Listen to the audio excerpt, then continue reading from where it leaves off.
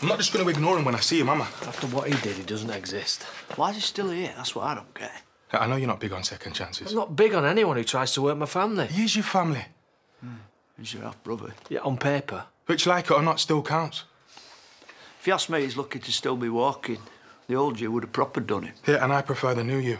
The one who wants to be here and not back in prison. Well, he knows there'll be consequences if he stays. Yeah, but you're speaking for everyone.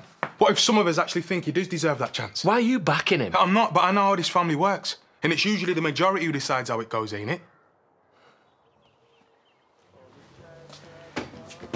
Is my stuff still here, or did you get rid of it already?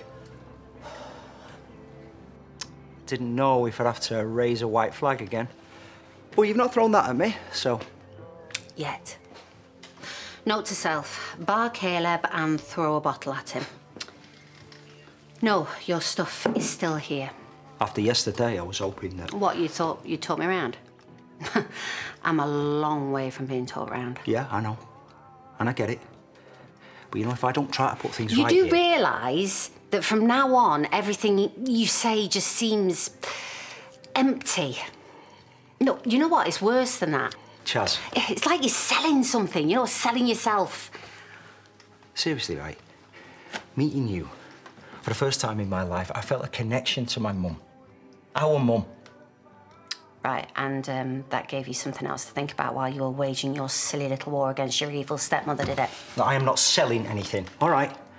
I'm telling you as it is. What I've done, it was only ever about Kim.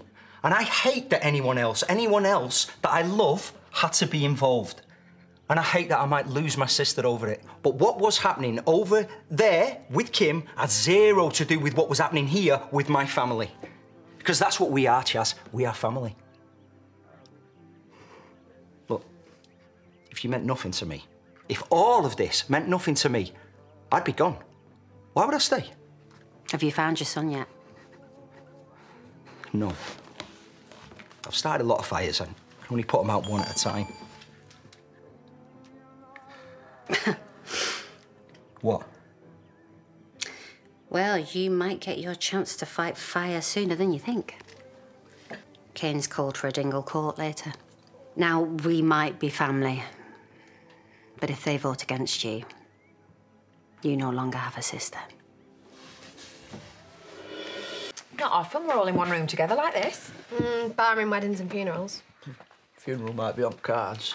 Well, I I think we should just get on with it. Uh, Kate, you wanted us here. Now, spell it out. Well, it's quite simple. Caleb, he stays or goes. Show of hands. Well, it's not that simple, though, is it? Because if we vote for him to leave, what's he going to say? Oh, OK, off I pop, thanks for everything. Sounds like you've already made up your mind. But I just mean, how are we going to make it work? I will make it work.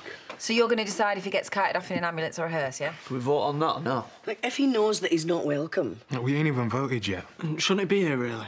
Aren't we supposed to fight our own corner? That's the Dingle way. He's not a Dingle. He's our brother. yeah, and you took him in and look how he paid you back. Cain, you did tell him that his mum was dead when you knew she was alive. We're all guilty of something. Made us all look like idiots. Well, some of us are capable of doing that all by ourselves. Has anyone thought about what Faith would have wanted? Everyone in this room has had a second chance at some point. Yeah, and I vote he doesn't get another chance. Look, come on, let's get on with this. Well, not everyone's here, are they? Lydia? Vinny? Mandy, she's in the lakes with Paddy. Yeah, but everyone got the memo, so if they're not here, it's tough. Right, okay, come on. No more messing about. Hands up if he goes. Right. Now, for those with a bad memory, raise your hands if you want him to stay. I'll, uh, what is it? Uh, abstain. What about me, Cain? Do I not get a vote?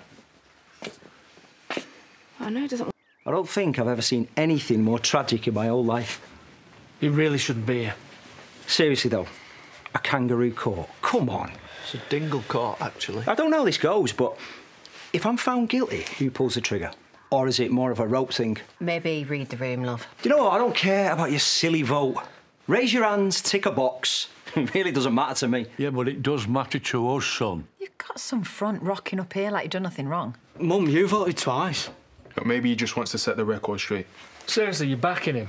Look, he smashed the record to pieces. He's been laughing at us. Maybe we should listen to what he has to say. That is normally how this works. Hey, you should have brought your son along. Could have killed two birds with one stone. All right, look, I won't say this again. This was never about anyone in this room. I came here for Kim. I wanted to finish her and leave her with nothing. The end. Yeah, and you left us with nothing instead. The end. And it was never meant to go like that. But if you have a problem still, I can fix it in an heartbeat. You just give me the word. Our word is never coming. All of you, for everything that's happened. I'm sorry.